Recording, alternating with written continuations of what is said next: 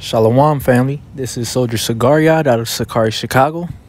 I'd like to start by giving all honor, praise, and glory to the Most High God Yahweh, Bahashim Hamashiach Wamlak Yahweh Shai. I'm coming at you today with a quick little lesson going into the scriptures and some history. Um, we're getting into the topic of who who is Esau, who are the Edomites, and uh, hopefully establishing the fact that they are the modern day so-called white man, the Caucasians. And I'd like to start right here in the book of First Maccabees, chapter 1 and verse 1.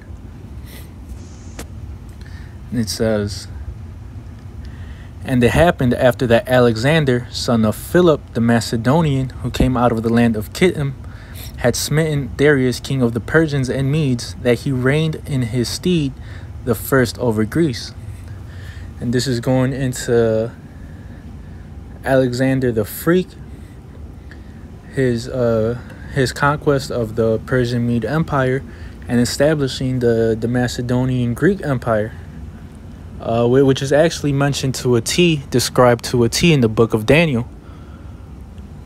But since this is talking about Alexander the Greek, let's go here um, to the Wikipedia page, Alexander the Greek says Alexander III of Macedon, commonly known as Alexander the Greek, was a king of the ancient Greek dynasty of the ancient Greek kingdom of Macedon. And I want you to, to keep that in mind, to keep in mind that both history and the scriptures refer to him as a Macedonian, him and his father. It says of the ancient Greek kingdom of Macedon and a member of the Argead dynasty. He was born in Pella in 356 BC and succeeded his father Philip II to the throne at the age of 20. And real quick, we, we could see that this is history lining up perfectly with what the scriptures say. You know, that is one of the very many places we could go into the Bible to prove that, you know, it's not just a fairy tale book, a made up book. It's, it, it's a book of prophecy, a book of, of history, uh, a, a divinely inspired book. But, uh, going more into this, we see here that it says uh, he was a member of the Argead dynasty. Now, when we click on that, let's see if it loads. Uh, the first thing I want to show you is here.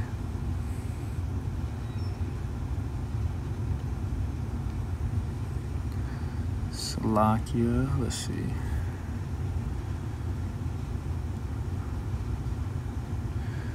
Yeah, the first thing I want to show you is here. Um, here it says, the Argead dynasty was an ancient Macedonian royal house of Dorian Greek Greek provenance.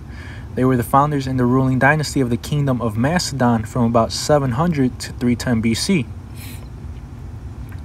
And real quick, this is this is an ancient artifact from back then. Um, it says a bronze coin of King Amyntas II of Macedon, the early Argead kings often copied the Wolf of Argos coins on their own coinage to highlight their supposed ancestry from the city.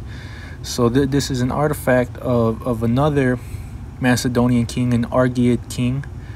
And I mean, you'd be hard pressed to find someone to tell you that this does not look like a modern day Caucasian. And in fact, you know, most Caucasians would boast in the fact that you know they descend from these the these these freaks you know that that that pillaged and killed and established kingdoms. But nonetheless this is archaeology showing you the characteristics of how the these ancient peoples looked. And it just so happens that they look caucasian but going back up, it says that the parent house of the Argeads were the Temanids. Now, why is this important? Why is Temanid important? Going back into the scriptures, if we go to Genesis 36, 10 to 11. Right here, we can start at 10. It says, These are the names of Esau's sons Eliphaz, the son of Adah, the wife of Esau, Reuel, the son of Bashemath, the wife of Esau, and the sons of Eliphaz were Teman. So, so Eliphaz was the son of Esau, and his son was Teman. So, so Teman would be the grandson of Esau. And we have here Alexander and Philip II and these Macedonians of the Argead dynasty claiming descendants from the Temanids. This who they were. So so this is Alexander and the Macedonians claiming their ancestry from an Edomite. And and like I said, to keep in mind the Macedonian aspect of it, because if we go further into the scriptures, we can pull up someone else. We go here. Um, the additions to Esther 16 and verse 10 talks about someone else, Haman. For Haman, a Macedonian, the son of Hamad, Hamadatha, Hamadatha, being indeed a stranger from the Persian blood and far distant from our goodness, and as a stranger received of us.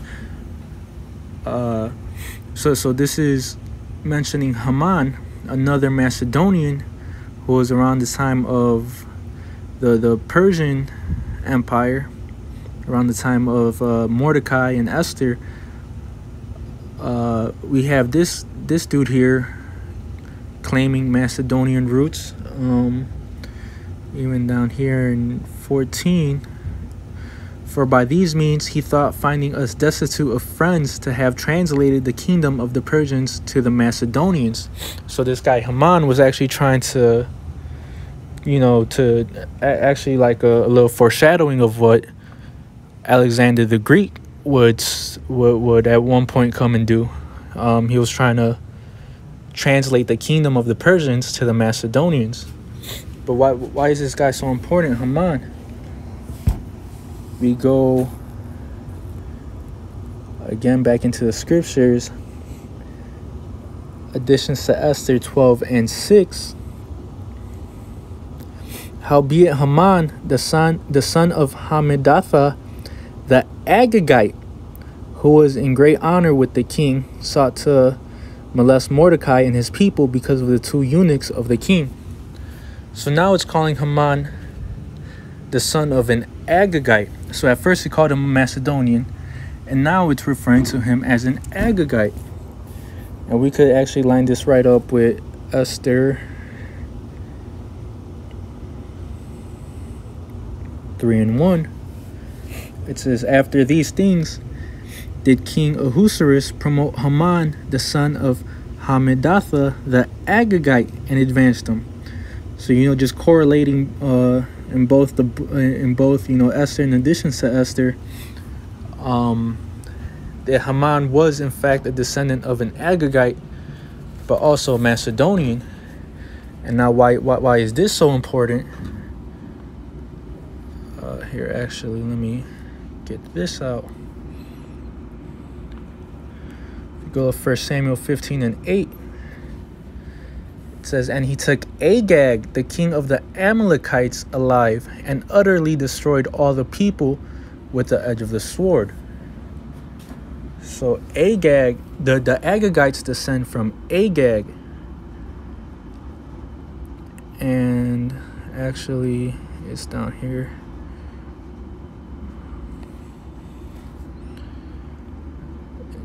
and right here.